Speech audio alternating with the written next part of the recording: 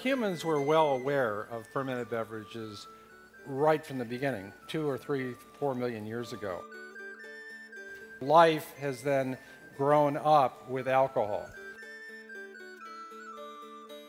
The first generation craft breweries that were so wonderful, like Brooklyn down the road and uh, Sierra Nevada, Sam Adams were making these wonderful, full flavored beers, but they were in essence referencing old world established beer styles. And whether or not people knew what they meant by that tradition, in general, it was the tradition of the Reinheitsgebot, which was the Bavarian Beer Purity Act of 1516, when the Bavarian government mandated for the rest of the world that beer could only be made with water, hops, and barley. Humans have been ingesting alcohol for 10,000 years, so the Reinheitsgebot and the definition of beer as water, yeast, hops, barley is, is uh, a Johnny-come-lately fad as far as I'm concerned. But it made me research longer history. I learned about Tej, the national drink of Africa, where it was basically honey and it was bittered with gesho root. Jiahu. This uh, beverage is based on tombs and settlements in Neolithic China going back to 7000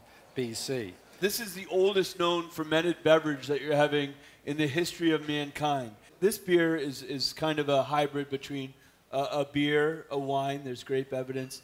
Uh, Jiahu has sake rice, uh, and it also has a fruit. You want to talk about well, that? Well, it has hawthorn fruit, and it has grapes, which is interesting because they're probably wild grapes, but none of them were domesticated that we know of. Well, we have tombs in Italy, especially in the Tuscany area, which have produced evidence going back to 800, 700 BC that uh, are, uh, provide a lot of botanical information. And uh, the Etruscans probably had a native beverage to begin with in this period, which um, involved using hazelnuts, pomegranates, grapes, or raisins. Tree resin.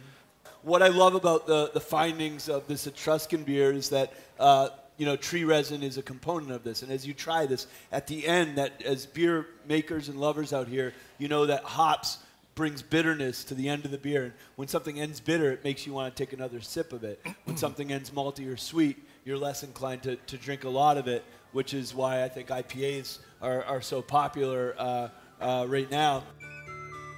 But now, as you go around the world, it's the, it's the American craft brewing movement that is, that is inspiring the renaissance of good beer. Italy's got a craft beer scene taking off.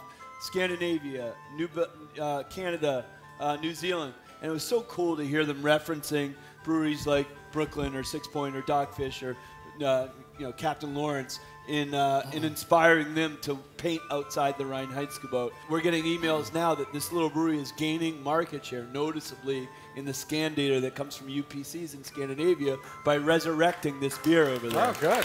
Yeah, great. I, I, didn't I didn't know that. Uh, so cheers. cheers.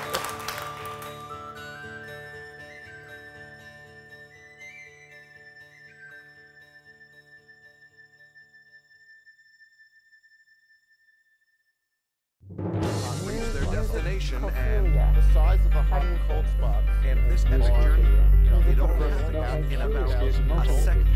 400,000 trillions upon trillions of similar journeys that happen each and every day.